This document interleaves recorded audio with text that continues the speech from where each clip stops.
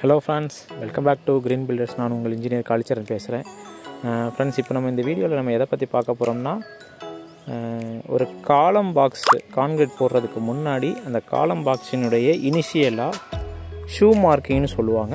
அளவுக்காக கீழே வந்துட்டு காலத்தினுடைய பவுண்ட்ரி லைனை ஒரு பாக்ஸ் காலம் பாக்ஸ் இருக்குன்னா அதனுடைய நாலு பக்கத்தினுடைய பவுண்ட்ரி லைனை இது மாதிரி நம்ம மெஷர்மெண்ட் மூலியமாக செக் பண்ணி லைன் அடித்து அதில் வந்து ஷூ மார்க்கிங் கான்கிரீட் போட்டோ போட்டு வைக்கணும். ஒரு ரெண்டு இன்ச்சு திக்னஸ்க்கு இது மாதிரி ஆசை எடுத்து வச்சுருப்பாங்க. ஷூ மார்க்கிங்னு சொல்லிட்டு. ஷூ மார்க் போட்டு இதில் வந்து கான்கிரீட் போட்டு பேக் பண்ணிடணும். பேக் பண்ணி மறுநாள் அந்த கழட்டிட்டோம் அப்படின்னா அது அழகாக ஒரு ஒன்றரை இன்ச்சு தெரியும். நல்லாவே தெரியும். அதில் வந்துட்டு காலம் பாக்ஸை நீங்கள் மாட்டினீங்க அப்படின்னா கரெக்டான அளவு மெஷர்மெண்ட்டுக்காக கீழே கீழே வந்து பேஸ் வந்து ரெடி ஆகிடும் காலத்துக்கு அதுக்கப்புறம் இதை வந்துட்டு நீங்கள் காலம் பாக்ஸில் கான்கிரீட் போட்டுட்டு தூக்கு விட்டு நீங்கள் பாக்ஸ் நிறுத்துனீங்கன்னா உங்களுக்கு மெஷர்மெண்ட்டுக்காக காலம் பாக்ஸ் கரெக்டாக இருக்கும். ஸோ உங்களுக்கு காலம் கம்பி உள்ளுக்குள்ளே இருக்க வந்துட்டு கவர் கரெக்டாக இருக்குதா அப்படிங்கிறத இதில் நம்ம செக் பண்ணிட முடியும். இன்னொன்று இதுக்கு இன்னொரு பேர் என்ன சொல்லுவாங்க அப்படின்னா காலம் ஸ்டார்டர்னு சொல்லுவாங்க.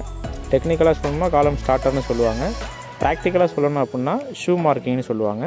இது நீங்கள் உங்களுடைய பில்டிங்கில் வந்துட்டு காலம் போட்டு நீங்கள் பண்ணுறீங்க அப்படின்னா மறந்துடாமல் இந்த மாதிரி காலம் ஷூ மார்க் பண்ணிட்டு அதுக்கப்புறம் காலம் போடுறத கன் கண்டினியூ பண்ணுங்கள் அது வந்து கரெக்டாக வரும். மெஷர்மெண்ட்டும் உங்களுக்கு கரெக்டாக வரும்.